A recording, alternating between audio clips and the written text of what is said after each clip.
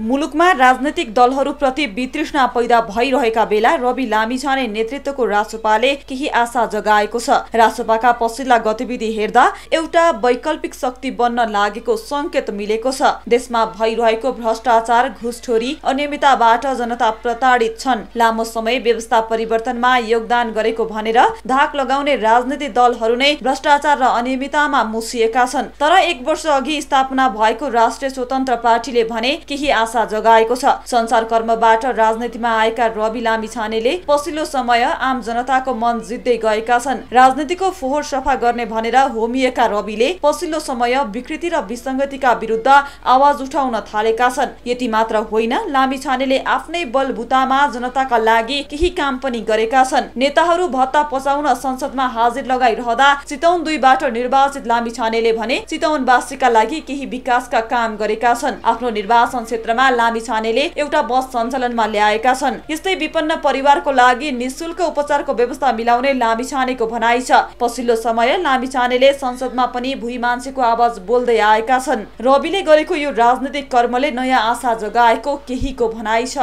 अब राजसभाका अध्यक्ष रवि लामी छानेले ब्लु बस प्लस एम्बुलेन्स आफ्नो निर्वाचन क्षेत्रमा लगेर सञ्चालन गर्नुलाई अहिले टिप्पणी गरिहाल्नु हुँदैन राम्रो कामलाई राम्रै भन्नुपर्छ।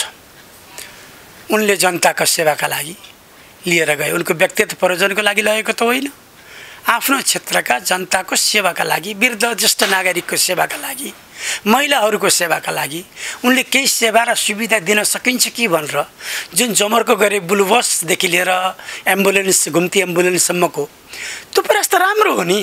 समकालीन राजनैतिक दलहरूले लगातार बिस वर्षसम्म सत्ताको वरिपरि रहँदा समेत देशको अवस्था फेर्न सकेनन्। मूलधारका राजनैतिक दलहरू सत्ता स्वार्थमा लिप्त हुँदा जनताले रासोपालाई विश्वास गरेका छन्। स्थापना भएकै छ महिनामा नै रासोपाले अभूतपूर्व मत ल्याएको हो। रासोपा प्रतिको जनआकर्षण देखेर केही राजनैतिक दलहरूको निध हराम भएको छ। लामी छानेले राष्ट्रियता सुशासन र विकासको पक्षमा सधैँ आवाज उठाउँदै आएका छन्। नेपाली जनताले लामो समयदेखि वैकल्पिक दलको खोजी गरिरहेका थिए। रासोपाले भुइँ मान्छेको पक्षमा आवाज बुलन्द गर्दै आएकाले आगामी निर्वाचनमा रासोपा अन्य दलहरूका लागि ठुलै चुनौती बन्ने देखिन्छ।